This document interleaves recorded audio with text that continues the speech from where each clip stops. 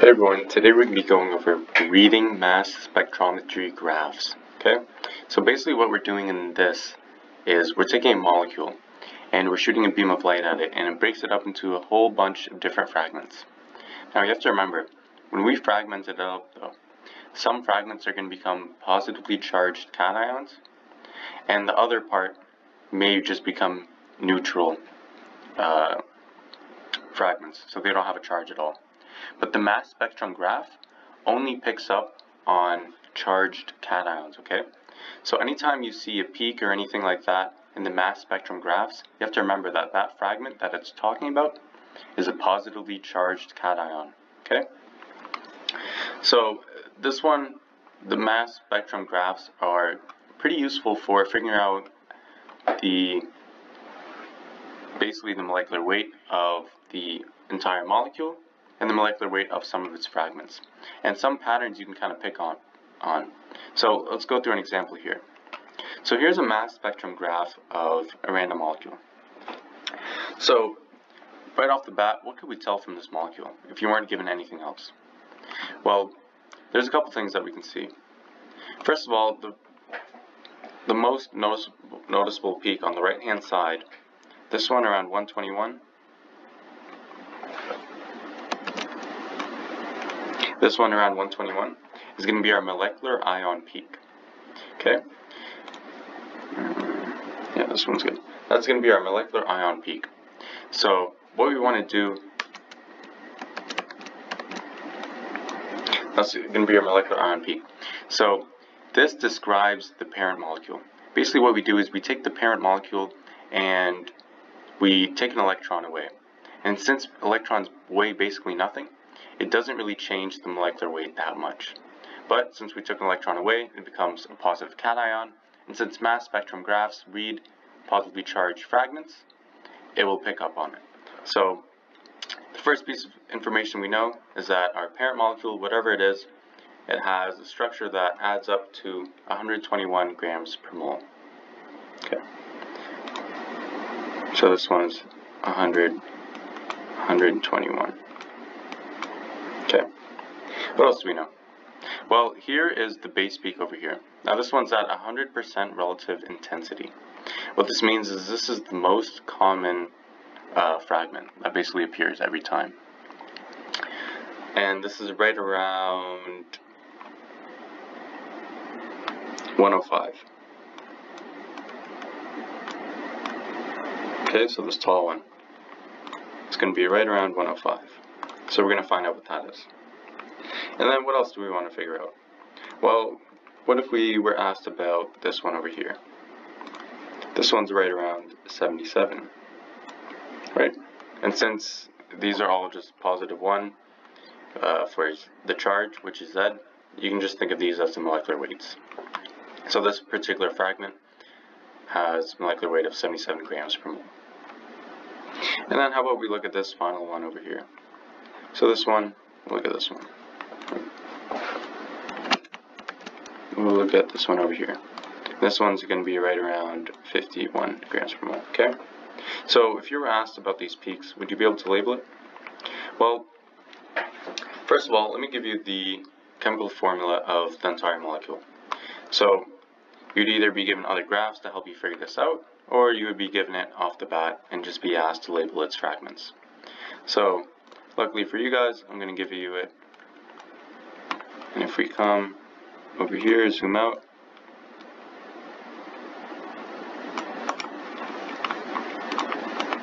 there it is right here. So I've actually given you the parent molecule, which is just benzamide right here. So this benzamide has a chemical formula of C7H seven, then a nitrogen and an oxygen. Okay? So I have seven carbons, seven hydrogens, one nitrogen, and one oxygen. Now, actually, another peaceful, useful piece of advice is looking at the values themselves. So 121 for our molecular ion peak tells us that basically our parent molecule has a molecular weight of 121 grams per mole. So since this number is odd, 121, tells us that we likely have an odd number of nitrogens. So we either have one nitrogen, three nitrogens, five nitrogens, or whatever, an odd number of nitrogens. Okay? And it makes sense that we have one nitrogen here, so that adds up. And then something else that is really quite useful is looking at the common fragments, so the big peaks. So we have a common fragment that appears at 77 grams per mole and 51 grams per mole. Now this is characteristic of a benzene ring. So anytime you see these peaks at 77 and 51, your structure probably has a benzene ring. And as you can see, there it is right there. Okay, so if you were given this uh, formula and you're asked, okay, what is the structures or the formulas of each of these little peaks? So in what way am I breaking this parent molecule up to get these different peaks? Well, let's go through it one by one and see what we mean. So remember, with our molecular ion peak, uh, what we do is basically we're just taking our parent molecule, removing an electron, which doesn't really change the weight, and just turns the parent molecule into a positive cation. So what we basically do is we just take the thing, and add a plus charge to it. Because remember, mass spectrum graphs only pick up on positively charged cations. So we know the fragment at 121 is just the parent peak but with a charge. So it's C7, H7, N,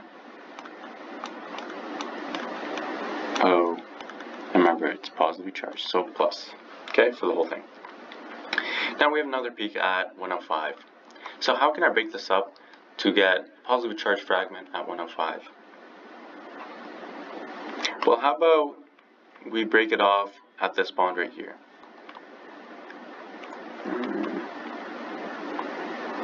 Yeah. So if I broke this up over over here, okay? So we have this side, if it became a positively charged fragment, and this side, okay? So Basically, find the molecular weights of each side if they happen to become fragments. So if we split up over here, and this side happened to become our positively charged cation, then this fragment would have a molecular weight of 14 plus 2, because it's NH2, of 16. Okay? And that means the other side would be, basically, you can do the parent minus, or the molecular ion peak minus 16 which adds up to 105. Or you could add up um, all these carbons, all these hydrogens, and the oxygen, and see what that would give you, and it should still give you 105. So we know that this is actually one of our fragments. So we fragment over here, and this left side happened to become um, one of our fragments, which gave us 105. Okay? So what's actually the chemical formula of this side? Well, it would be C7 H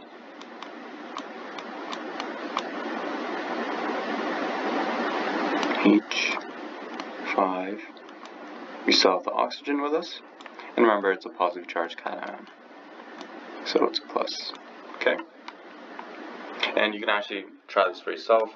7 times 12 plus 5 plus 16 gives us 105. So we know that this fragment is correct. Nice. Now what else can we get? So we fragmented it there. Where else can we fragment it? How about we fragment it hmm, at this one right here. Okay, we have the top side and the bottom side.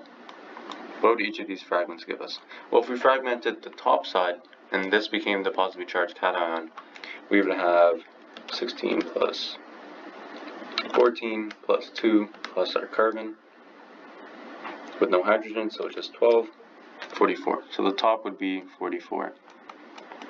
And that means our bottom would have to be 77. Okay?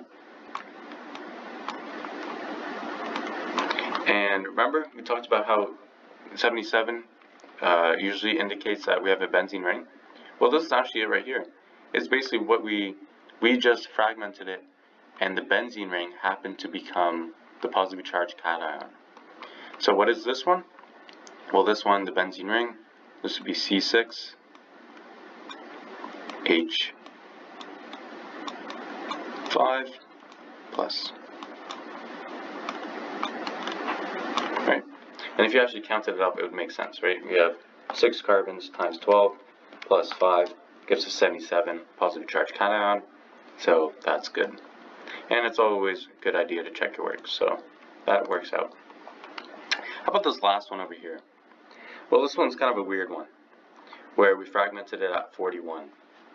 So one of the ways you can get or sorry, fragmented it and the positive one became 51. One of the ways you can get that is by getting four carbons, so C4, and three hydrogens, which that will give you 51. Remember, it's positively charged cation. And basically how we do it was, we kind of just fragmented over here. That was a little bit confusing, but the chemical formula still makes sense. So we have one, two, three, four carbons and three hydrogens. So just remember that for 51. Okay? So basically all we do is we just take our our chemical structure and our chemical formula and we fragment it up and we try to get to these fragments. Okay? So whatever our thing is, it has to add up to that fragment. So in this one, pretty much the whole thing became the fragment and it became positive. So that's 121. This one adds up to 105 and it's positive. This one adds up to 77 and it's positive. This one adds up to 51 and it's positive. Okay, remember positively charged cations only. And this is how we fragmented it. So this kind of little bits of the puzzle over here for our mass spectrum. Okay, thanks for watching.